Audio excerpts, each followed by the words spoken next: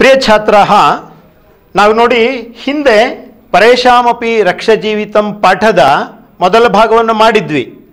ನೀವು ಅದನ್ನು ನೆನಪು ಮಾಡಿಕೊಂಡ್ರೆ ಮುಂದಕ್ಕೆ ನಾವು ಹೋಗ್ಬೋದು ಅಂತ. ಅದರಿಂದ ನಾವು ಪಾಠದ ಪ್ರಾರಂಭದಲ್ಲಿ ನೆನ್ಪಿಟ್ಕೋಬೇಕು ಮೂಲ ಗ್ರಂಥ ಸಿಂಹಾಸನ ದ್ವಾತ್ರಿಂಶಿಕ ಅಂತ. ಕವಿಹಿ ವರರುಚಿಹಿ. ಯಾವುದೇ ಪಾಠವನ್ನು ಮಾಡುವಾಗ, ಓದುವಾಗ ಅದನ್ನು ನೆನ್ಪಿಟ್ಕೊಂಡಿರಬೇಕು. ಮೂಲ ಗ್ರಂಥ ಯಾವುದು? ಅದರ ಲೇಖಕ ಯಾರು ಅಂತ.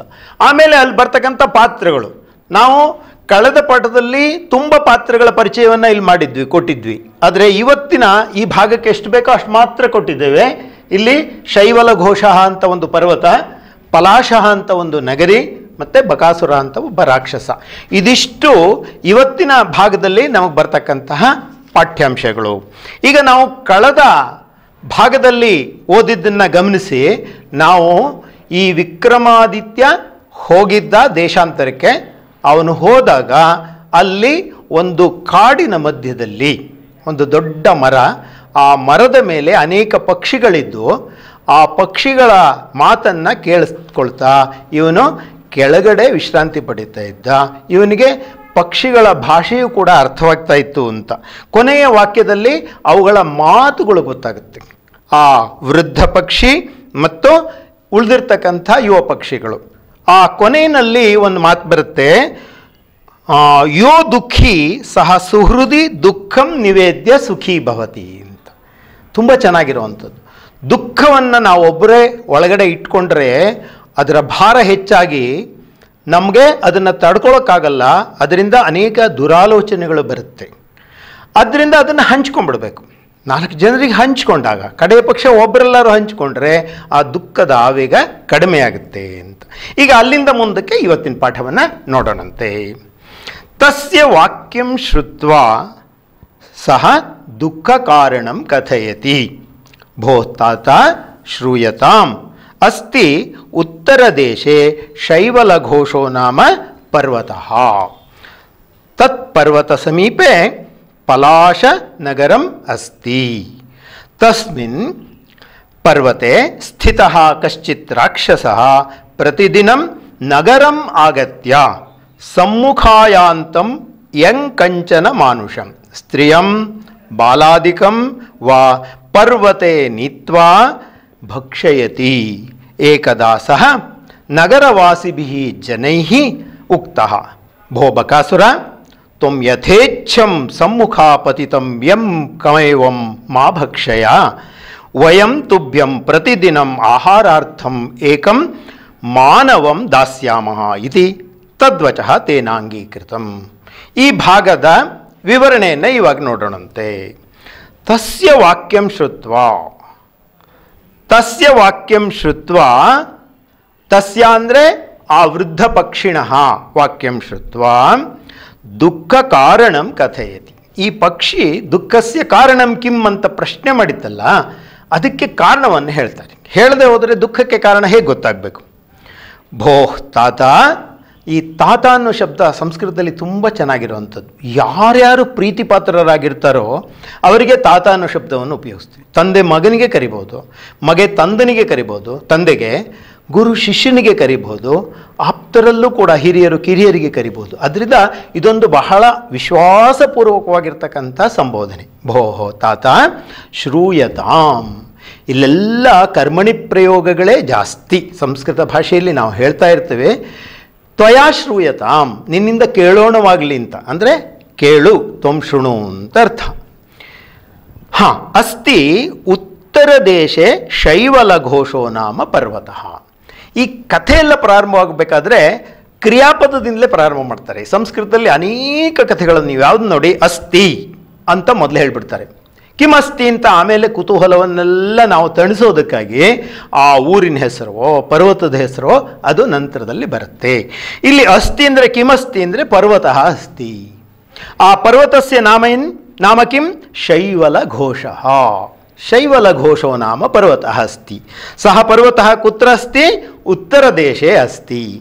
ಹೀಗೆ ನಾವು ಆಕಾಂಕ್ಷೆಯನ್ನು ಬೆಳೆಸ್ಕೋತಾ ಹೋದರೆ ಕ್ರಿಯಾಪದದ ಮೇಲೆ ನಮಗೆ ಒಂದಕ್ಕೊಂದಕ್ಕೆ ಅನ್ವಯ ಗೊತ್ತಾಗುತ್ತೆ. ಜೊತೆಗೆ ಇಡೀ ವಾಕ್ಯದ ಅರ್ಥ ಸ್ಪಷ್ಟವಾಗುತ್ತೆ. ತತ್ ಪರ್ವತ ಸಮೀಪೆ, ತಸ್ಯ ಪರ್ವತಸ್ಯ ಸಮೀಪೆ, ಪಲಾಶನಗರಂ ಅಸ್ತಿ. ಪಲಾಶ ಇತಿ ನಗರಂ ಪಲಾಶನಗರಂ ಅಂತ ಕರ್ಮಧಾರೆಯ ಸಮಾಸವನ್ನು ನಾವು ಮಾಡ್ತೀವಿ ಇಲ್ಲಿ. ಹೆಸರು ಬಂದಾಗೆಲ್ಲ ಹಾಗೆ. ನಗರಸ್ಯ ನಾಮ, ನಗರಂ ನಗರಿ ಈ ಥರ ಪದಗಳೆಲ್ಲ ಕೂಡ ಇದೆ. ಪಲಾಶನಗರಂ ಅಸ್ತಿ. ಪರ್ವತಸ್ಯ ಸಮೀಪೆ. ಅಸುಧಾತೋ ಲಟ್ಲಕಾರ ಅಸ್ತಿ ಸ್ತಃ ಸಂತಿ ಅಂತ ವರ್ತಮಾನ ಕಾಲದ ಪ್ರಥಮ ಪುರುಷ ಏಕವಚನ. ಕ್ರಿಯಾಪದ ಬಂದಾಗೆಲ್ಲ ಒಂದ್ಸರಿ ನೆನ್ಪು ಮಾಡ್ಕೋಬೇಕು. ಇದು ಯಾವ ಪುರುಷ, ಯಾವ ವಚನ ಅಂತ. ಸಾಧ್ಯವಾದರೆ ಒಂಬತ್ತು ರೂಪಗಳನ್ನು, ಪ್ರಥಮ, ಮಧ್ಯಮ, ಉತ್ತಮ ಪುರುಷದ ಏಕವಚನ, ದ್ವಿವಚನ, ಬಹುವಚನಗಳನ್ನು ಕೂಡ ಒಂದ್ಸರಿ ಹೇಳ್ಕೊಂಬಿಟ್ರೆ ತುಂಬ ಚೆನ್ನಾಗಿರುತ್ತೆ. ಅಸ್ತಿ ಸ್ತಃ ಸಂತಿ, ಅಸಿ ಸ್ತಃ ಸ್ಥ, ಅಸ್ಮಿ ಸ್ವಹ ಸ್ಮಹ ಈಗ ಅಸ್ತಿ. ತಸ್ಮಿನ್ ಪರ್ವತೆ ಸ್ಥಿತ ಕಶ್ಚಿತ್ ರಾಕ್ಷಸ. ಕಶ್ಚಿತ್ ಅಂದರೆ ನಮಗೆ ಯಾರು ಅಂತ ಗೊತ್ತಿರಲ್ಲ, ಯಾವನೋ ಒಬ್ಬ ಅನ್ನೋ ಅರ್ಥದಲ್ಲಿ ಕಶ್ಚಿತ್ ಪುಲ್ಲಿಂಗದಲ್ಲಿ ಹಾಗಿರುತ್ತೆ. ಸ್ತ್ರೀಲಿಂಗದಲ್ಲಿ ಕಾಚಿತ್ ಅಂತ ಇರುತ್ತೆ ನಪುಂಸಕಲಿಂಗದಲ್ಲಿ ಕಿಂಚಿತ್ ಅಂತ. ಚಿತ್ ಚನಗಳನ್ನು ಆ ರೀತಿಯಾಗಿ ಉಪಯೋಗಿಸ್ತಾರೆ. ತಸ್ಮಿನ್ ಪರ್ವತೆ ಸ್ಥಿತ ಕಶ್ಚಿತ್ ರಾಕ್ಷಸ. ಒಬ್ಬ ರಾಕ್ಷಸ, ಪ್ರತಿದಿನಂ ನಗರಂ ಆಗತ್ಯ. ಪ್ರತಿದಿನ ರಾಕ್ಷಸ ಅಲ್ಲಿರ್ತಾ ಇದ್ದ ಪರ್ವತದಲ್ಲಿ, ಅವನು ಪ್ರತಿದಿನ ನಗರಕ್ಕೆ ಬರ್ತಾ ಇದ್ದ.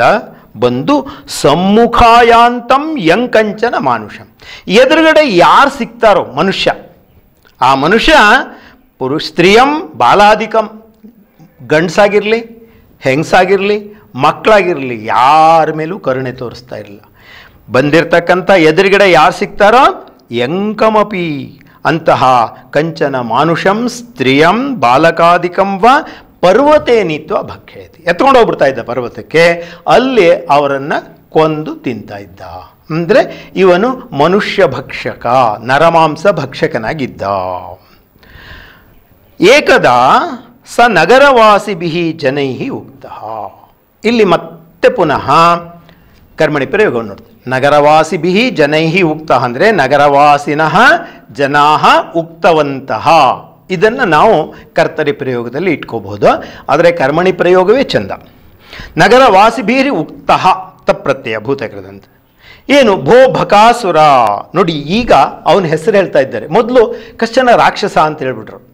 ಈಗ ಗೊತ್ತಾಯಿತು ಬಕಾಸುರ ಅಂತ. ಭೋ ಬಕಾಸುರ ತ್ವಂ ಯಥೇಚ್ಛಂ ಯಥೇಚ್ಛಂ ಸಮ್ಮುಖ ಪತಿತಂ, ಯಂ ಕಮೇವಂ ಮಾ ಭಕ್ಷಯ ಯಥೇಚ್ಛಂ ಅಂದರೆ ಮನಸ್ಸಿಗೆ ಬಂದಾಗೆ ಅಂತ. ಅದಕ್ಕೆ ಒಂದು ಕ್ರಮ ಇಲ್ಲ. ನಿಂಗೆ ಯಾವಾಗ ಹೆಂಗೆ ಹೆಂಗೆ ಮನಸ್ಸು ಬರುತ್ತೋ ಹಾಗಾಗೆ. ಸಮ್ಮುಖ ಅಪತಿತಂ ಎದುರುಗಡೆ ಬಂದಿರತಕ್ಕಂತಹ, ಯಂ ಕಮೇವಂ ಮಾ ಭಕ್ಷಯ. ಯಾರ್ಯಾರನ್ನೂ ಮಾ ಭಕ್ಷಯ ತಿನ್ಬೇಡ, ಮಾ ಅನ್ನೋದು ನಿಷೇಧಾರ್ಥಕವಾಗಿರತಕ್ಕಂಥ ಒಂದು ಅವ್ಯಯ. ಭಕ್ಷಯ ಅನ್ನೋದು ಲೋಟ್ಲಕಾರ. ಭಕ್ಷ್ಯ ಧಾತುವಿನ ಲೋಟ್ಲಕಾರ, ಮಧ್ಯಮ ಪುರುಷ, ಏಕವಚನ. ಮಾ ಭಕ್ಷಯ ಅಂದರೆ ತಿನ್ಬೇಡ ಅಂತ ಅರ್ಥ ಹಾಗಾದ್ರೆ ಏನು ಮಾಡ್ತೀರಿ? ವಯಂ ತುಭ್ಯಂ ಪ್ರತಿದಿನಂ ಆಹಾರಾರ್ಥಂ ಏಕೈಕಂ ಮಾನವಂ ದಾಸ್ಯಾಮ. ನಾವು ನಿನಗೆ ಆಹಾರಕ್ಕೆ ಒಬ್ಬೊಬ್ಬ ಮನುಷ್ಯನ ಕಳಿಸ್ಕೊಡ್ತೀವಿ. ದಾಸ್ಯಾಮಹ. ಇದು ಲಿಟ್ಲಕಾರ. ದದಾತಿ ಅನ್ನೋದು ಲಟ್ಲಕಾರ ಆಗುತ್ತೆ. ದಾಸ್ಯತಿ ಎಂಬತಕ್ಕಂಥದ್ದು ಲಿಟ್ಲಕಾರ. ಇದು ಭವಿಷ್ಯತ್ ಕಾಲ. ಇತಿ. ತದ್ವಚಃ ತೇನ ಅಂಗೀಕೃತಂ. ತದ್ವಚಃ ಅಂದರೆ ತೇಷಾಂ ವಚಃ. ಅವ್ರ ಮಾತುಗಳು ತೇನ ಅಂಗೀಕೃತಂ. ಅವರಿಂದ ಅಂಗೀಕರಿಸಲ್ಪಟ್ಟಿತು ಇಲ್ಲಿ ಬಕಾಸುರ ಅಂದ ಕೂಡಲೇ ನಮಗೆ ಮಹಾಭಾರತದ ಕಥೆ ನೆನಪಾಗುತ್ತೆ. ಭೀಮ ಯಾವ ಬಕಾಸುರನನ್ನು ಏಕಚಕ್ರ ನಗರದಲ್ಲಿ ಕೊಂದನಲ್ಲ, ಅದೇ ಥರದ ಬಕಾಸುರ ಇವನು ಅಷ್ಟೇ. ಆದರೆ ಮಹಾಭಾರತದಲ್ಲಿ ಬಂದಿರುವ ಕಥೆ ಬೇರೆ, ಇಲ್ಲಿ ಬಂದಿರತಕ್ಕಂಥ ಕಥೆ ಬೇರೆ, ಎರಡಕ್ಕೂ ಸ್ವಲ್ಪ ಸಾದೃಶ್ಯ ಇದೆ ಅಷ್ಟೇ ಹೊರತು, ಆ ಕಥೆಯನ್ನು ಇದಕ್ಕೆ ಸೇರಿಸ್ಕೊಂಡು ಹೋಗಬಾರ್ದು. ಇದು ಮೊದಲನೆಯ ಪ್ಯಾರಾದ ವಿವರಣೆ ನಿಮ್ಗೆ ಅರ್ಥವಾಗಿರುತ್ತೆ. ಈಗ ಮುಂದಿನ ಪ್ಯಾರಕ್ಕೆ ಹೋಗೋಣಂತೆ ನಾವು. ತದನಂತರಂ ತತ್ರತ್ಯ ಜನಾ ಪ್ರತಿದಿನಂ. ಅನುಕ್ರಮಂ ಗೃಹಕ್ರಮೇಣ ಏಕೈಕಂ ಮಾನವಂ ತಸ್ಮೈ ಪ್ರಯಚ್ಛಂತಿ. ಒಪ್ಪಿಗೆ ಕೊಟ್ಟ ಮೇಲೆ ಒಪ್ಪಂದದ ಪ್ರಕಾರ ನಡಿಬೇಕಲ್ವಾ? ಅದರಿಂದ ತದನಂತರಂ. ಆಮೇಲೆ ತತ್ರತ್ಯಾಹ ಜನಾ ತತ್ರ ಸ್ಥಿತ ಗ್ರಾಮವಾಸಿನ ನಗರವಾಸಿನ ಜನಾ ಅಲ್ಲಿರ್ತಕ್ಕಂಥ ಜನರು ಪ್ರತಿದಿನಂ, ದಿನೇ ದಿನೇ ಬಿಡದೆ ಒಂದಿನವೂ ತಪ್ಪದೆ ಅನುಕ್ರಮಂ ಅಂದರೆ ಕ್ರಮಂ ಅನುಸೃತ್ಯ ಅಂತ. ಇವತ್ತು ಮೊದಲನೇ ಮನೆ ಆದರೆ ನಾಳೆ ಎರಡನೇ ಮನೆ. ಹೀಗೆ ಆ ಕ್ರಮಬದ್ಧವಾಗಿ ಅನುಕ್ರಮಂ ಗೃಹಕ್ರಮೇಣ. ಅವರವ್ರ ಮನೆ ಒಬ್ಬೊಬ್ಬರ ಮನೆಯ ಪಾಳಿ ಒಂದೊಂದು ದಿವಸ ಬರೋ ರೀತಿಯಲ್ಲಿ ಏಕೈಕಂ ಮಾನವಂ ತಸ್ಮೈ ಪ್ರಯಚ್ಛಂತಿ. ಏಕ ಏಕ ಅಲ್ಲಿ ವೃದ್ಧಿ ಸಂಧಿಯಾಗಿರುತ್ತೆ. ಏಕೈಕಂ ಮಾನವಂ ತಸ್ಮೈ ಪ್ರಯಚ್ಛಂತಿ. ಯಾರಿಗೆ ಕೊಡ್ತೇವೋ ಅವರಿಗೆ ಚತುರ್ಥಿ ವಿಭಕ್ತಿ ಬರಬೇಕು ಅಂತ ನಿಯಮ ಇದೆ. ತಸ್ಮೈ ಪ್ರಯಚ್ಛಂತಿ. ಅವ್ರಿಗೆ ಕೊಡ್ತಾರೆ ಅಂತ ಕಥೆ ಹೇಳುವಾಗ ಕೆಲವು ಸರಿ ವರ್ತಮಾನ ಕಾಲದಲ್ಲೂ ಕೂಡ ವಾಕ್ಯಗಳನ್ನು ಹೇಳ್ಕೊಂಡು ಹೋಗ್ತೀವಿ. ಇಲ್ಲ, ಸ್ಮ ಸೇರಿಸ್ಕೊಂಡು ಮನಸ್ಸಿನಲ್ಲೇ ಪ್ರಯಚ್ಛಂತಿ ಸ್ಮ ಅಂದರೆ ಭೂತಕಾಲದ ಅರ್ಥವನ್ನು ಕೊಡುತ್ತೆ. ಏವಂ ಮಹಾನ್ ಕಾಲೋ ಗತಃ ವರ್ಷಗಟ್ಟಲೆ ಕಳೆದೋಯ್ತು. ಇದೇ ತರಹ ದುಃಖ ಪಟ್ಕೊಂಡು ಯಾರೋ ಮನೇಲಿ ಒಬ್ಬೊಬ್ಬರನ್ನು ಕಳಿಸ್ಕೊಡ್ತಾ ಇದ್ರು. ಒಬ್ಬನ ಕಳ್ಕೊಂಡೇನು ದುಃಖ ಅವ್ರಿಗೆ ಇರ್ತಾ ಇತ್ತು. ಮುಂದಕ್ಕೆ ನೋಡಿ. ಅದ್ಯ ಪೂರ್ವಜನ್ಮನಿ ಸಂಜಾತ ಸೌಹಾರ್ದಸ್ಯ ಮಮ ಮಿತ್ರಸ್ಯ ಕಸ್ಯಚಿತ್ ಬ್ರಾಹ್ಮಣಸ್ಯ ಪರ್ಯಾಯ ಸಮಾಯಾತ. ತಸ್ಯ ಏಕ ಏವ ಪುತ್ರ, ಪುತ್ರಂ ದದಾತಿ ಚೇತ್ ಸಂತತಿಚ್ಛೇದೋ ಭವಿಷ್ಯತಿ. ಆತ್ಮಾನಂ ಪ್ರಯಚ್ಛತಿ ಚೇತ್, ಭಾರ್ಯ ವಿಧವಾ ಭವಿಷ್ಯತಿ. ವೈಧವ್ಯಂ ಪುನಃ ಮಹದ್ದುಃಖಂ, ಪುತ್ರೀಂ ದಾಸ್ಯತಿ ಚೇತ್. ಆಶ್ರಯ ಭ್ರಂಶೋಭವತಿ ತೇಷಾಂ ಪರೇಶಾಂ ದುಃಖೇನ ಅಹಂ ಮಹದ್ದುಃಖಿ. ಈಗ ದುಃಖದ ಕಾರಣವನ್ನು ಹೇಳ್ತಾ ಇದೆ. ಮೊದಲನೇ ಎರಡು ವಾಕ್ಯ ಆಗಲೇ ನಾವು ಹೇಳಿದ್ವಿ. ಅದ್ಯ, ಮಹಾನ್ ಕಾಲ ಕಳೆದ ಮೇಲೆ ಅದ್ಯ, ಈ ದಿವಸ, ಇದು ಸಾಯಂಕಾಲ ಕಥೆ ಹೇಳ್ತಾ ಇದೆ. ಬೆಳಗ್ಗೆ ಹೀಗಾಯಿತು. ಪೂರ್ವಜನ್ಮನಿ ಸಂಜಾತ ಸೌಹಾರ್ದಸ್ಯ ಮಮ ಮಿತ್ರಸ್ಯ. ನನ್ನ ಸ್ನೇಹಿತ ಅಂದ್ಕೂಡ್ಲೆ ಇದೇನಪ್ಪ, ನೀನು ಪಕ್ಷಿ, ಅವನ ಮನುಷ್ಯ, ನಿನಗೇನು ಸ್ನೇಹಿತ ಅಂದರೆ ಪೂರ್ವಜನ್ಮನಿ ಸಂದಾತ ಅದೆಲ್ಲ ಹಿಂದಿನ ಜನ್ಮದಲ್ಲಿ ನನಗೆ ಸ್ನೇಹಿತ ಆಗಿದ್ದೆ ನೋಡಿ. ಹಿಂದಿನ ಜನ್ಮದ ನೆನಪ ಎಲ್ಲ ಅದಕ್ಕಿತ್ತು. ಆದ್ದರಿಂದ ಪೂರ್ವಜನ್ಮನಿ ಜನ್ಮ ಶಬ್ದ, ಜನ್ಮ ಜನ್ಮನಿ, ಜನ್ಮಾನಿ ಅಂತ ನಪುಂಸಕಲಿಂಗ ನಕಾರ ಅಂತ. ಅದರ ಸಪ್ತಮಿ ವಿಭಕ್ತಿಯಲ್ಲಿ ಪೂರ್ವಜನ್ಮನಿ ಅಂತ ಆಗುತ್ತೆ. ಸಂಜಾತ ಸೌಹಾರ್ದಸ್ಯ, ಸುಹೃತ್ ಅಂದರೆ ಸ್ನೇಹ. ಸುಹೃತ್ ಸುಹೃತ್ ಸುಹೃದವ್ ಸುಹೃದ ಅಂದರೆ ಸ್ನೇಹಿತರು ಅಂತ. ಸಂಜಾತ ಸುಹೃದ ಭಾವ ಸೌಹಾರ್ದಂ ಅಂತ. ಅಂದರೆ ಸ್ನೇಹ ಅನ್ನೋದಕ್ಕೆ ಸೌಹಾರ್ದ ಅಂತ ಹೇಳ್ತಾರೆ. ನಮ್ಮಿಬ್ಬರಲ್ಲಿ ಸ್ನೇಹ ಇತ್ತು ಹಿಂದಿನ ಜನ್ಮದಲ್ಲಿ. ಈಗ ಅವನು ಮನುಷ್ಯನಾಗಿ ಹುಟ್ಟಿದ್ದಾನೆ. ನಾನು ಈಗ ಪಕ್ಷಿಯಾಗಿ ಹುಟ್ಟಿದ್ದೇನೆ ಅಂತ ಅರ್ಥ. ಮಮ ಮಿತ್ರಸ್ಯ ಕಸ್ಯಚಿತ್. ಮಿತ್ರ ಶಬ್ದ ಸ್ನೇಹಿತ ಅನ್ನೋ ಅರ್ಥದಲ್ಲಿ ನಪುಂಸಕಲಿಂಗದಲ್ಲಿ ಇರುತ್ತೆ. ಸೂರ್ಯ ಅನ್ನೋ ಅರ್ಥದಲ್ಲಿ ಪುಲ್ಲಿಂಗದಲ್ಲಿ ಪ್ರಯೋಗ ಮಾಡ್ತಾರೆ. ಕಸ್ಯಚಿತ್ ಬ್ರಾಹ್ಮಣಸ್ಯ ಪರ್ಯಾಯ. ಒಬ್ಬ ಬ್ರಾಹ್ಮಣ ಅವನ ಪರ್ಯಾಯ ಇವತ್ತು. ಆ ಪರ್ಯಾಯ ಸಮಾಯಾತಃ, ಸಮಾಗತಃ, ಸಂ ಆಯಾತಃ ಅಂತ. ತಸ್ಯ ಏಕ ಏವ ಪುತ್ರ. ಸಮಸ್ಯೆ ಏನೋ ಇಲ್ಲಿ ಒಬ್ಬನೇ ಮಗ ಇರ್ತಕ್ಕಂಥ ಮಗಳೊಬ್ಬಳು ಒಬ್ಬ ಮಗ, ಗಂಡ, ಹೆಂಡತಿ. ಪುತ್ರಂ ದದಾತಿ ಚೇತ್, ಸಂತತಿ ಛೇದೋ ಭವಿಷ್ಯತಿ. ಸಮಸ್ಯೆ ಏನು?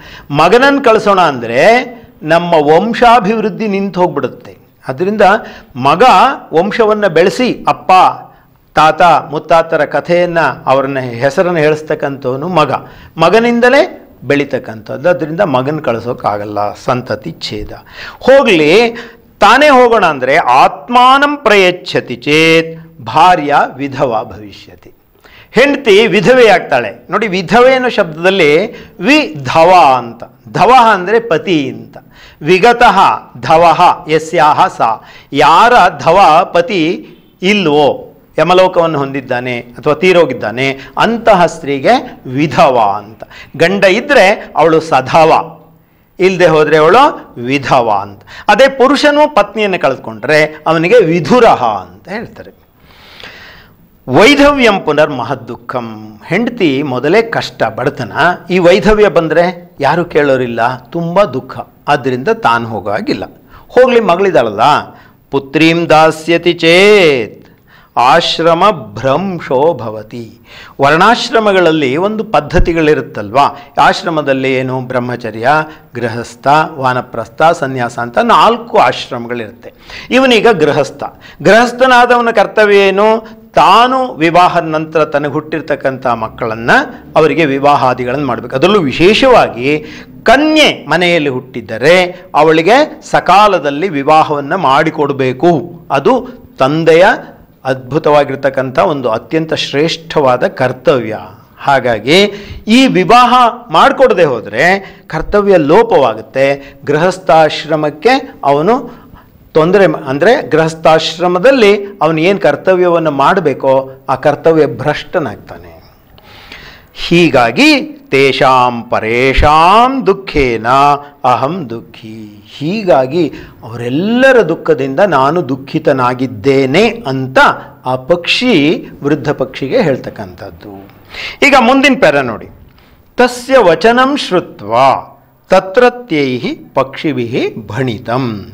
ಅಹೋ ಅಯಮೇವ ಸುಹೃತ್ ಯಹ ಸುಹೃದೋ ದುಃಖೇನ ಸ್ವಯಂ ದುಃಖಿ ಭವತಿ ಏತದೇವ ಮಿತ್ರತ್ವಂ ಉಕ್ತಂಚ ಸುಖಿತೆ ಸುಖಿ ಸುಹೃದಿ ಯಹ ದುಃಖಿನಿ ದುಃಖಿ ಚ ಸಹ ಬಂಧುರ್ಭವತಿ ಇತಿ ಪಕ್ಷ್ಣೋ ವಚ ಶ್ರುತ್ವ ವಿಹಂಗರವ ಅರ್ಥವಿಜ್ಞ ರಾಜ ತತ್ರ ನಗರೆ ವಧ್ಯಶಿಲಾ ಸಮೀಪಂ ಗತಃ ತತ್ರ ಬ್ರಾಹ್ಮಣಂ ನಿರೀಕ್ಷ್ಯ ಅಭಯಂ ದತ್ವಾ ಸ್ವಗೃಹಂ ಸಂಪ್ರೇಷ್ಯ ಚ ತತ್ ಸಮೀಪಸ್ಥೆ ಸರೋವರೆ ಸ್ನಾತ್ವ ವಧ್ಯಶಿಲಾಯಾಂ ಯ- ಉಪಾವಿಶತ್ ಇದು ಈ ಪ್ಯಾರದ ಮುಖ್ಯವಾಗಿರ್ತಕ್ಕಂಥ ಅಂಶ.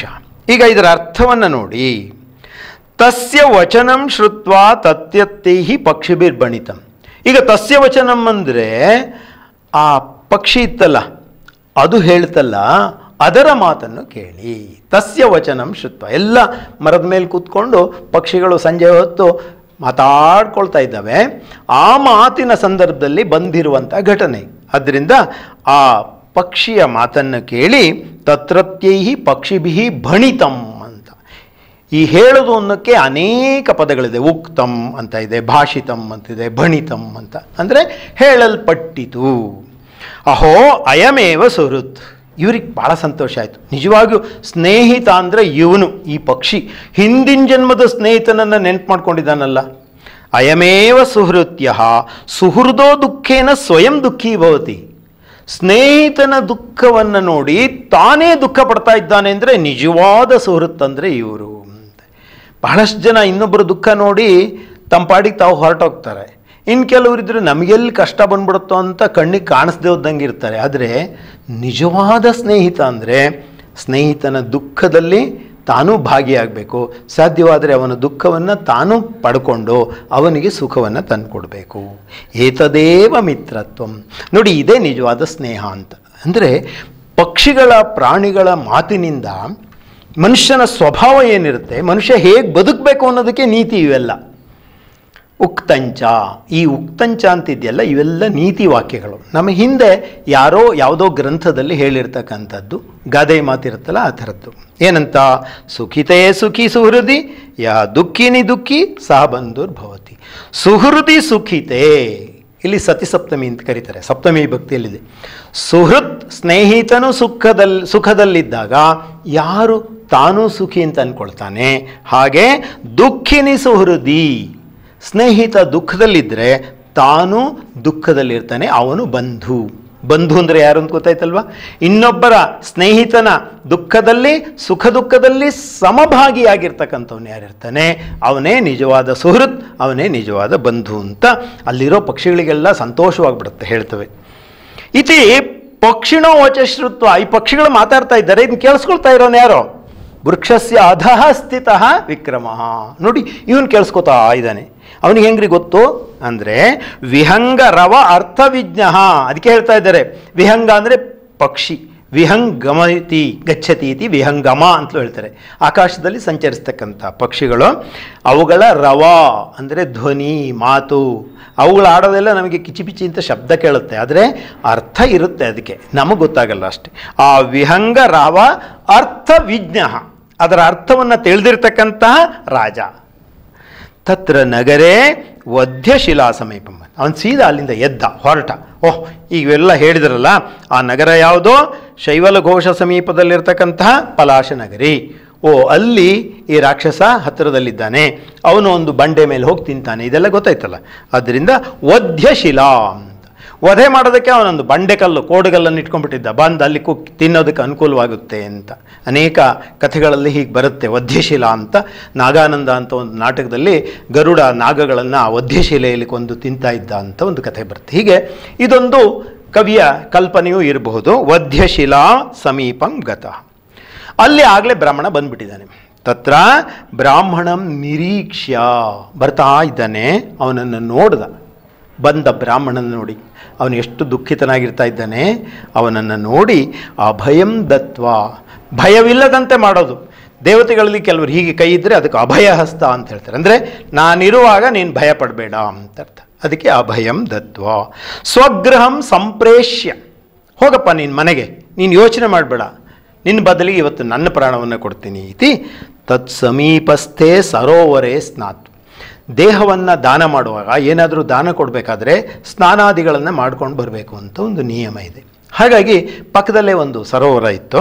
ಆ ಸರೋವರೇ ಸ್ನಾತ್ವ ವಧ್ಯಶಿಲಾಯಾಮ್ ಉಪಾವಿಷತ್ ಆ ವಧ್ಯಶಿಲೆ ಏನಿತ್ತೋ ಅಲ್ಲಿ ಹೋಗಿ ಉಪಾವಿಷತ್ ವಿಷಧಾತುವಿನ ವಿಷ ಪ್ರವೇಶನೆ ಅಂತ ಉಪ ಅನ್ನೋದು ಉಪಸರ್ಗ. ಉಪ ಅವಿಷತ್ ಅವಿಷತ್ ಅವಿಷತಾಂ ಅವಿಷನ್ ಹೋಗಿ ಕುಳಿತುಕೊಂಡ ಇದಿಷ್ಟು ಈ ದಿವಸದ ಪಾಠ. ವಿದ್ಯಾರ್ಥಿಗಳೇ ಇದನ್ನು ಚೆನ್ನಾಗಿ ಮನೆಯಲ್ಲಿ ಮತ್ತೊಮ್ಮೆ ಓದಿ ಓದೋದನ್ನು ಅಭ್ಯಾಸ ಮಾಡಿ ಮುಂದಿನ ತರಗತಿಯಲ್ಲಿ ಮುಂದಿನ ಪಾಠವನ್ನು ನಾವು ಕೇಳೋಣಂತೆ. ಧನ್ಯವಾದಗಳು.